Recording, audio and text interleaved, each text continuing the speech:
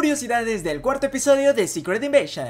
Como ya sabíamos, Gaia no había muerto en el episodio pasado porque vimos que se sometió a la misma prueba que Gravik. Pero si ponemos atención, solamente fue en la prueba de Extremis, así que no tiene ninguno de los otros poderes. Pudimos ver que un periódico se llama El Globo, el cual este sí existe en los cómics siendo la competencia directa contra el Daily Bugle. Se confirmó que Rhodey realmente él es un Skrull encubierto, pero es una chica y quién sabe, puede ser que ella sea la mera patrona y sea verán qué. ¿Te imaginas que realmente haya sido un scroll desde Iron Man 2 después del cambio de actor? Ahora sí ya vemos lo que es realmente ser un Super Scroll, ya que Gravik lo vimos con las habilidades de Groot. Al final del episodio vimos cómo le disparan a Talos y Gravik lo acuchilla matándolo, en teoría. Pero ya sabemos cómo es Marvel, así que es probable que tampoco haya muerto. Porque si recordamos a mitad del episodio pudimos ver cómo Talos y Gaia estuvieron hablando como padre e hija y quién sabrá mejor con un experimento portátil o algo por el estilo pudo haber convertido a Talos también en un Super Scroll. Ya solamente quedan dos episodios para que termine esta serie y algo que no me termina de convencer es el cómo vamos a ver que termine esta historia. Más que nada porque Nick Fury no es rival en lo absoluto contra Gravik el cual ya tiene los poderes de un Super Scroll